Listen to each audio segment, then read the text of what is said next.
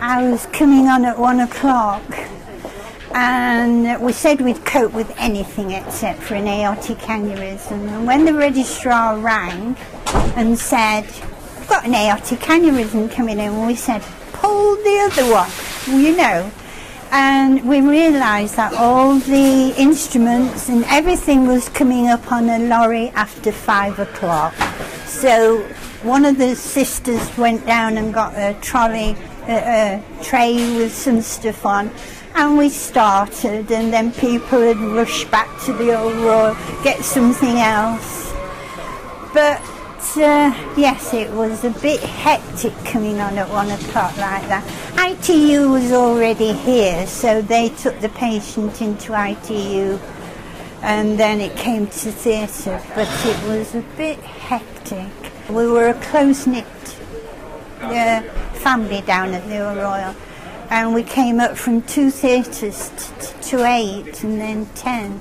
So that was, but yes, it was nice. There was no cockroaches running around and things like that. But there wasn't infection control like there is now. So it was absolutely super hectic that first afternoon. It took a bit getting used to, but it was lovely coming up here and seeing all the new place. Patients were happy, you know, they weren't going around the old place and uh, yeah, it was very nice.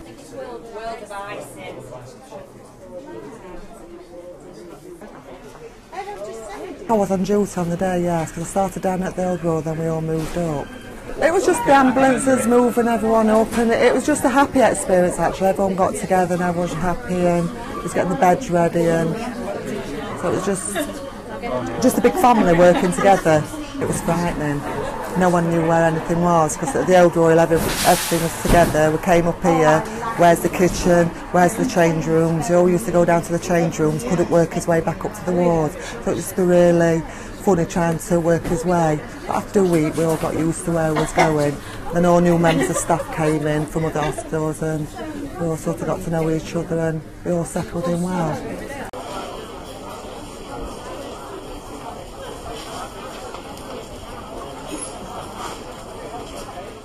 Was a very busy day. I worked in outpatients in Marsden Street Clinic and I moved up here to work in suites so a staff nurse in paediatrics. This all seemed very spacious, very light, obviously very new, uh, very busy. It was moving equipment up.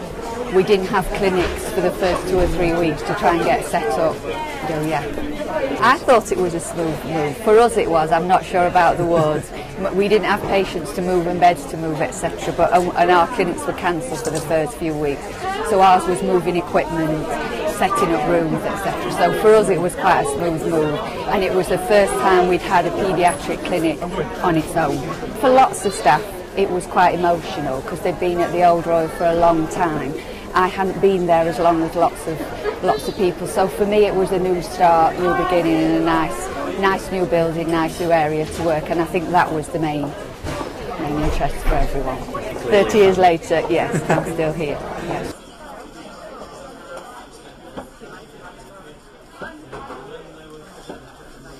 We came up about two months before we were managing two switchboards and all there was during the day was um, commissioning people but out of hours when we were here, there were just security, us and security on site, and that was it. Very eerie, yeah. But it was the only way they could do the switchboard. They moved uh, one part here and we just controlled Walton, uh, first of all, and then they all moved up on the day. Well, it was completely, um, everything was totally new. It was like one day you knew your job and then the next day you came up and you didn't know your job. You know, you didn't know the numbers, you didn't know anything. Um, it was just, yeah, that's what it was like. And of course it was the travelling, because when you worked in town it was so simple. Everybody, nobody came in the cars, they just caught the bus in. It was a very emotional day, the day they shut the Royal. Yeah, very emotional. It was such a, a nice, old, friendly place. And then you come, I mean, uh, what we thought at this time was a massive, big new building, which is was nowhere near what it is now. Yeah, it was very emotional. Just shutting everything down, just saying, right, that's it, done. Yes.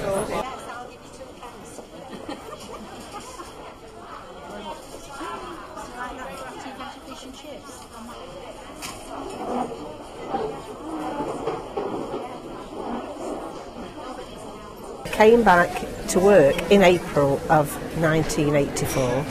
I mean, I, I had my daughter in the October of 83. I was a water at the Old Royal. And I started the first Stoma Care nursing service at this hospital in 1984. So this year I'm celebrating 30 years of the Stoma Care service as well as the 30 years of the hospital. I can remember coming to have a look round here and I couldn't believe it. Uh, I mean, they took us into um, the old Hollywell, which is the, where the theatre admissions unit is. And you couldn't believe that there was a day case unit that looked so modern and what appeared to be, well at the time was fantastic, it was purpose built and it, it, it was it was marvellous. There were a lot of problems at the Old Royal in the sense that, you know, the, the, the windows let the wind in and you know, it, if it rained, it, it, there was water in different places, and there, it was. So it's not. People sometimes look on the oh, oh it was better. It wasn't better. This was fantastic compared to the old one.